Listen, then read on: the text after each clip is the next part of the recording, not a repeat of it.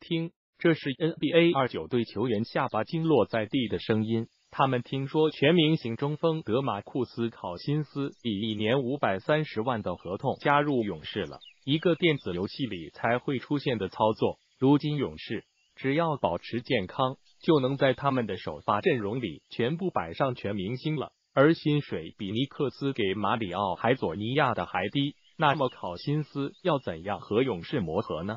他的加入会如何提高勇士五年内四冠、三连冠的机会呢？勇士如何得到考辛斯？首先，我们回答这个问题：一切是如何发生的？上周我解释过了，今年的休赛期市场非常萎缩，使得自由球员，尤其是中锋们的低价签约变成可能。由于这样的原因，考辛斯的市场非常一般。独行侠是有薪资空间的球队里最需要中锋的。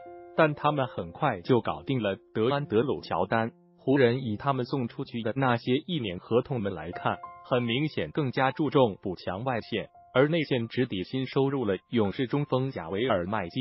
而考辛斯自己的原队鹈鹕在湖人放弃兰德尔之后，马上跟进，以一个更便宜、更年轻的选择替代了自己。而剩下的有薪金空间的球队，不是在重建老鹰和公牛。就是不需要中锋七十六人，或者无以再相逢国王，这就使得考辛斯要想得到年薪超过八百六十万的合同，就只可能寻求先签后换。所以，除非有我们意料之外的球队出手，那么考辛斯不需要牺牲太多薪水，就以稍小一些的奢侈税中产加入勇士不是意外。在这种程度之下，加入卫冕冠军比失去少许薪水。很可能要更加值得。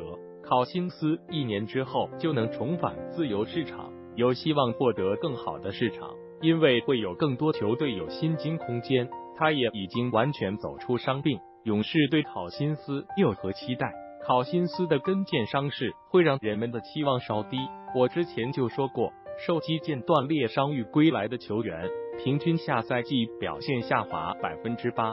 显然，考辛斯哪怕下降很多。仍然是一个精英级别的球员，在考辛斯签约之前，即便考虑到伤病的下滑之后，我还是预计他的价值比普通轮换级别的球员要多出八点六场胜利，这比去年勇士所有中锋加起来的七点四还要高。而勇士下赛季仍然有替补中锋乔丹贝尔或者任何他们会签下的中锋能做出贡献。这个预测并没有考虑到下赛季考辛斯会较晚复出。据 ESPN 报道，考辛斯希望能在十二月到一月之间复出。考辛斯在二零一八年的一月二十六日遭遇伤病，这个恢复时间可以说是保守的。上赛季我们还看到鲁迪盖伊在二零一七年一月十八日受到同样的伤病，训练营之时就已回归赛场。而如果说有球队能安心等待考辛斯慢慢养伤，那也只有勇士。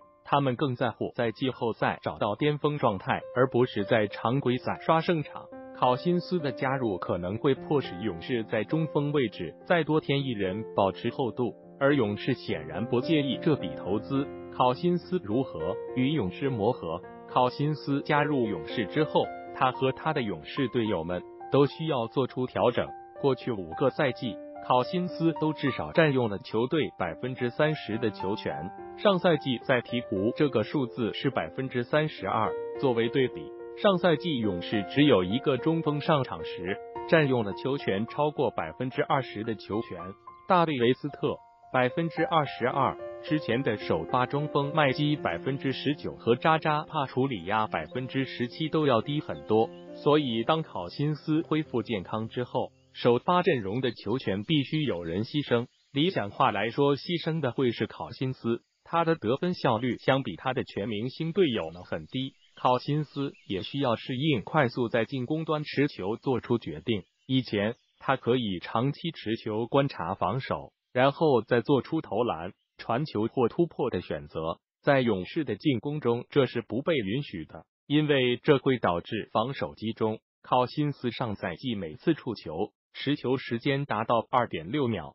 这比勇士之前的中锋都高出很多。贝尔在这些人里面有最高的次均持球时间，只是一点七秒。考辛斯的持球时间甚至也比德雷蒙德格林的二点二秒高出不少。而在防守端，考辛斯并不是勇士大量换防策略理想的中锋。二零一七到一八赛季，考辛斯只有四十六次挡拆后的换防，只占他防守过的挡拆回合的百分之二点七。而连勇士之前速度最慢的中锋帕楚里亚，他上赛季的挡拆换防的比例也有百分之十三。所以史蒂夫科尔需要在一些他想要换防的时候，避免让考辛斯换。我想说。这笔签约对勇士来说有一定的风险。考辛斯和以前队友的关系很复杂，而和教练的关系就更难说了。如果他不愿或者不能调整他的比赛，那他对勇士带来的伤害可能还会高出帮助。